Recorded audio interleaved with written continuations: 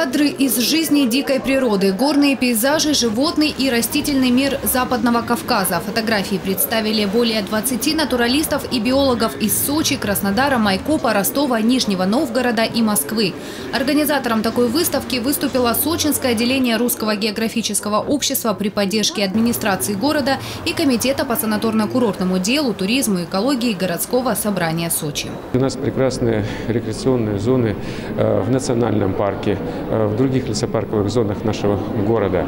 И поэтому для того, чтобы э, понять ценность того, где мы живем и что мы имеем, надо, конечно же, эту красоту увидеть. Поэтому мы очень благодарны нашим фотохудожникам, нашим членам Сочинского отделения Русского географического общества, которые подарили нам вот эти свои работы для того, чтобы мы могли посмотреть, полюбоваться и, самое главное, потом сохранить эту природу.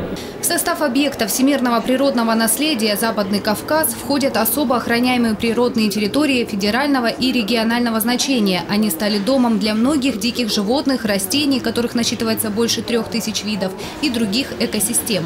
Во время своих экспедиций биологи делают множество фотографий, которые нужны не только для работы. Интересные кадры вполне могут украсить стены музея. Фотографии э, в научных исследованиях, они порой отличаются от фотографий, которые выставляют на выставке. Это понятно. Для научных исследований важен прежде всего фотофакт. Это документ.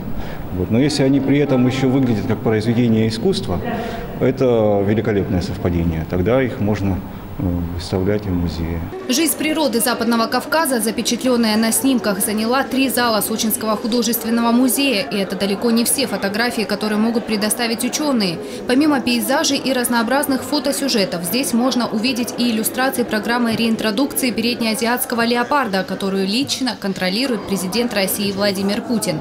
Выставка продлится до 21 марта, вход свободный. Татьяна Говоркова, Демид Даниловский, телекомпания «ФКТ».